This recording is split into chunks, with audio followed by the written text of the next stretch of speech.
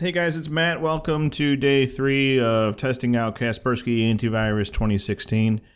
Uh, I've got a bunch of malware today. It was a very busy day at work, and then I had a user nice enough to send me a couple of uh, good links on where I could get stuff. So uh, let's go ahead and start testing. Um, last night we left this uh, virtual machine uh, it looks like something got through. Uh, otherwise, we wouldn't be seeing this message. This message should not be here if everything was blocked.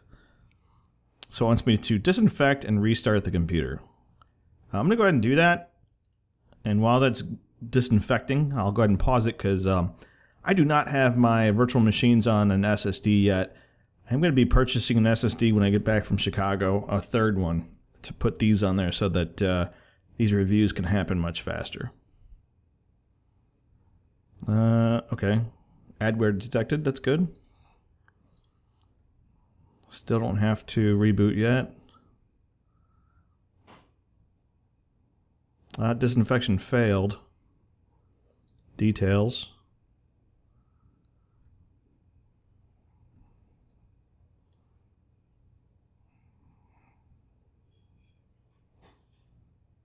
Okay. The de detected object was moved to a quarantine. I'm thinking I moved it and then it tried to disinfect it, I guess. I'm not sure. On, we're still getting these alerts. Okay, uh, let's go ahead and reboot this guy, and then we'll go ahead and be, uh, we'll uh, come back and do some more testing with some malware from today. And,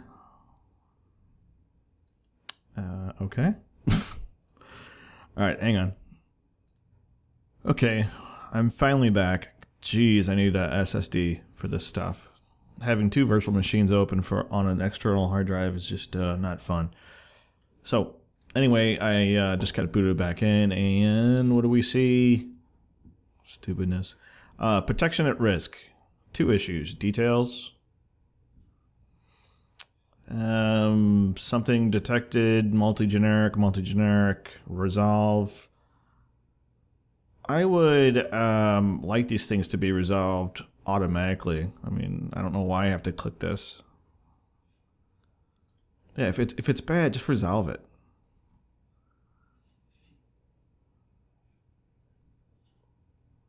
This should have been resolved upon uh, boot. We told it to detect and remove. anyway, all right that's kind of out of the way for now. We'll see if it pops up again. Let's go ahead and take a look at some of the malware I got today. Uh, I know I can drag and drop, or I could earlier. Don't make me look like a friggin' idiot. It's gonna be one of those days. And I did test this. It's not like I didn't test it. I could earlier. I'm not sure what the hell the deal is now. Come on. It's a stupid VMware tools thing, I'm sure. Yeah, I can't paste. Alright. Hey guys, so I'm going to call this um, day 2.5 because this is pretty much unworkable with this external hard drive. I don't know if it's dying or what, so I'm going to go ahead and uh, head over to Micro Center and pick up a, uh, let's see. Oh, what do they have? Uh, I think it was a 500 gig Samsung Evo. I have two 850 Pros in here now, but they're mostly for like my documents and games and stuff like that. So I'm gonna go ahead and get a 500 uh, gig Evo just for these VMs and uh, Sorry for the delay. I was not expecting this, so see ya. Yeah, so that was slightly annoying. I just got back. Um, went to Micro Center and I got a, uh, let's see. Damn it. Samsung 850 EVO, 500 gig. Yeah, awesome. For 169 it's cheaper than Amazon, so what the hell. Anyway, I'm going to go ahead and install this guy. Or first uh, upload this video, then I'll install it. Alright, bye.